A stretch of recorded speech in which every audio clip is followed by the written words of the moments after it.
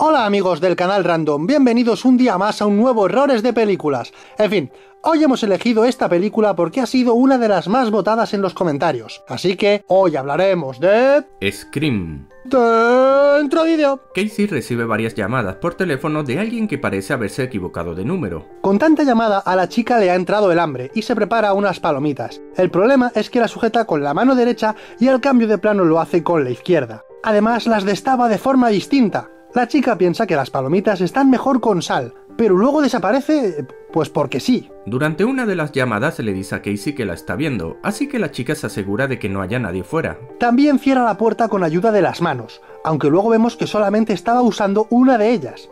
Resulta que el novio está fuera atado en una silla y lo matan, así que la chavala al intentar huir se encuentra con el asesino, el cual rompe el cristal dos veces, una con la mano y la otra de un cabezazo, al estilo Zidane. A pesar de que llegan los padres en coche, la chica no grita, tampoco les llama y encima se queda quieta. Pues claro, te atrapa el asesino y te apuñala, aunque no tiene sentido que te hayan hecho una herida y luego parezca que sean dos. En fin, que los padres encuentran a la hija muerta con las tripas fuera y colgada. Lo que yo me pregunto es si es posible hacer todo eso en tan solo unos segundos. Pero eso seguro que es porque eran dos asesinos. Calla, no hagas spoilers y sigue leyendo. Al día siguiente el instituto está lleno de periodistas y el sheriff y su ayudante interrogan a todos los alumnos. Lo más lógico habría sido que los periodistas estuvieran en el lugar del crimen y no en el instituto. Pero bueno, así de paso conocemos a Sidney y sus amigos frikis. Al igual que Casey, Sidney recibe una llamada telefónica en la que además le dicen que la van a matar igual que a su madre. El asesino está dentro de la casa, aunque no sabemos cómo ha conseguido entrar. También vemos que es bastante torpe y que clava el cuchillo en un sitio y luego está en otro distinto. La chica consigue llegar hasta su cuarto e intenta llamar a la policía, pero el teléfono no funciona, así que los llama a través del ordenador. Mientras tanto aparece su novio al que se le cae un teléfono,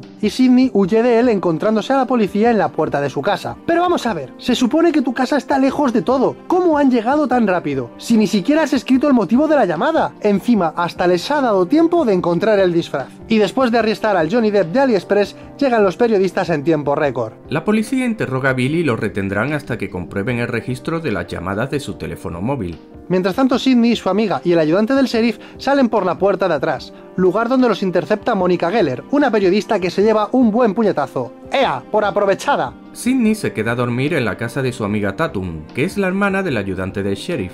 De repente aparece la madre de la amiga diciendo que la llaman por teléfono. ¿No te parece raro que pregunten por ti? Total, que el de la llamada es el asesino y la madre avisa a su hijo que tarda más en llegar al teléfono que cuando fue a casa de Sidney. Al día siguiente, Sidney habla con la periodista, la cual está escribiendo un libro sobre el asesinato de la madre de Sidney. Por lo visto, Sidney identificó a un hombre como el violeador y asesino de su madre, pero parece que su testimonio no es del todo correcto, y puede que hayan encerrado a un inocente, aunque no parece que le importe mucho y se va al instituto, lugar donde los candados de las taquillas cambian de color sin motivo. También vemos que la gente se toma broma que hayan matado a dos de sus compañeros. Parece que en los 90 no había ofendiditos. ¡Ah, youtuber! Búscate un trabajo de verdad, me ofende lo que haces. eh". Sidney se mete en el baño de chicas y allí escucha la voz del asesino que la ataca pero consigue escapar. La chica, en lugar de irse corriendo de allí, se queda en el baño y se pone a mirar por debajo de las puertas, aunque lo más fácil habría sido comprobar cuál de las puertas tenía el seguro echado. Pero ¿por qué te quedas? ¿Y por qué no avisas a la gente al huir? Por cierto, ¿cuánto tiempo llevaría este tío metido en el baño esperando a que entrara Sidney? Debido a los últimos acontecimientos, deciden suspender las clases y además declaran el toque de queda. Mónica estaba intentando sacarle información al policía cuando anunciaron el toque de queda por megafonía. Lo que no sabemos es cómo cambiaron de posición las gafas que llevaba colgadas. A Stuart no se le ocurre otra cosa que celebrar una fiesta en su casa. Pero vamos a ver, ¿no se supone que han decretado el toque de queda? ¿De veras los padres van a dejar que sus hijos se vayan de fiesta con un asesino suelto? ¡Irresponsables! El sheriff ha averiguado que las llamadas que recibieron Casey y Sidney se hicieron desde el teléfono del padre de Sidney y le pide a su ayudante que vigile bien a la chica. Mientras tanto comienza el toque de queda y todos los negocios cierran. Pero, ¿por qué no está cerrado el supermercado? Aunque lo peor de todo es que el policía lleva a su hermana y a Sidney a la fiesta. Y las deja allí. ¿Qué pasó con lo de vigilar a la chica de cerca? ¿Y qué pasó con el toque de queda? ¿Es normal hacer fiestas con asesinos sueltos o cómo va esto? La periodista engaña al policía y consigue entrar con él a la fiesta con la excusa de acompañarle. Por cierto, la periodista tiene una manía muy muy extraña. Lleva abrigo cuando está dentro de la casa, pero cuando está en la calle no. En fin, es su cultura y hay que respetarla. El policía pilla a un menor bebiendo cerveza y le da igual. Le dice que siga bebiendo. ¿Y a estos que llevan droga tampoco les dices nada? Va, le da igual todo. Hasta se toma una cerveza estando de servicio. ¡Con dos cojones! Tatum va por unas cervezas y se cierra la puerta, con lo que no puede salir porque parece estar cerrada por el otro lado. Lo de la puerta es bastante raro. Primero porque se cierra desde fuera, pero el asesino estaba dentro. Luego porque la chica no puede abrirla, pero el asesino sí que puede sin usar ningún tipo de llave ni nada. Total, la chica le da al interruptor con su mano izquierda, pero en el plano detalle vemos que lo está haciendo con su mano derecha. Así que aparece el asesino que la ataca. Pero vamos a ver si sois capaces de ver el error de esta escena. ¡Música de Tetris!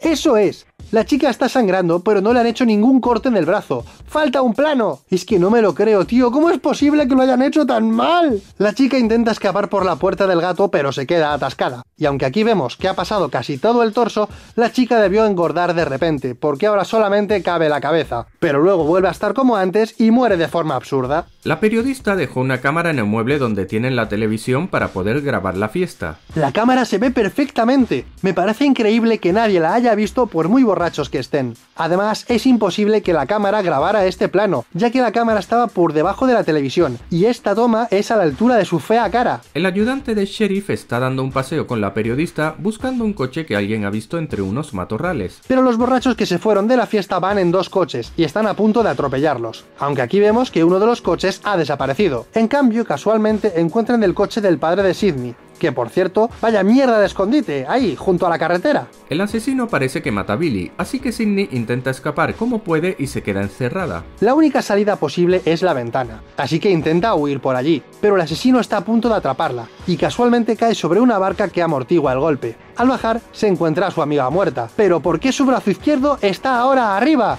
¡Realismo! Sidney pide ayuda al cámara, pero el asesino lo mata y la chica escapa de él como puede. El policía entra en la casa armado y la periodista va hacia la furgoneta, pero por alguna extraña razón no vio al cadáver encima. Para rematar, se estrella al esquivar a Sidney y a la chavala le da igual que esté viva o muerta. Se va de nuevo a la casa en lugar de ver cómo está, o al menos huir. El agente está herido y Sidney se esconde en su coche, así que aprovecha para pedir ayuda por radio. Antes vimos que la policía llegó de inmediato, pero incomprensiblemente en esta ocasión, que están todos alerta con toque de queda incluido, llegarán al final de la película. Entre que llegan y no llegan, Sidney agarra la pistola del policía inútil y aparecen Stuart y Randy, acusándose el uno al otro como si esto fuera un meme. Billy sigue vivo y le pide la pistola a Sidney. Con ella dispara Randy y además Stuart se muestra como uno de los asesinos. La motivación del Johnny Depp Diary Express este es que la madre de Sidney se había acostado con su padre y por eso su madre se fue de casa, con lo que para vengarse mataron a la madre de Sidney e incluso inculparon a otra persona. Pero, ¿de todo esto? ¿Qué culpa tiene Sidney? Eh, eh, es que le veo lagunas a tu motivación. El plan de los dos psicópatas es apuñalarse entre ellos para que parezca que los han atacado y hacer parecer que el asesino es el padre de Sidney, además de simular que se suicidó disparándose en la cabeza. Yo creo que lo mejor hubiera sido matar a todos menos al padre y luego apuñalarse entre ellos, ¿no? La periodista se lleva la pistola y les apunta, pero resulta que tiene seguro puesto y la dejan sin sentido. En fin, que la chica y el padre desaparecen y Sidney les hace el juego de la llamada. Además ataca a Billy y le quita su pistola. Pero ¿de dónde ha sacado el disfraz?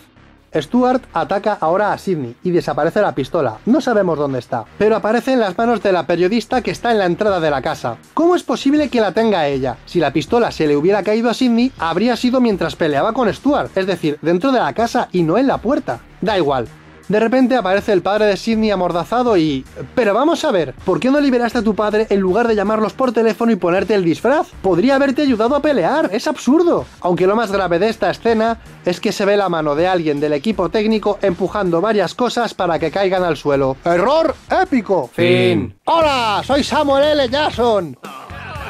¿Conocéis la iniciativa Los Vengadores? Y tercera norma del canal Random. Siempre aparece el tuerto preguntando para unirse a los Vengadores. Recordad que si os ha gustado el vídeo, dadle un like. Y si no conocías el canal, suscríbete ahora. que es gratis. ¡Hasta luego!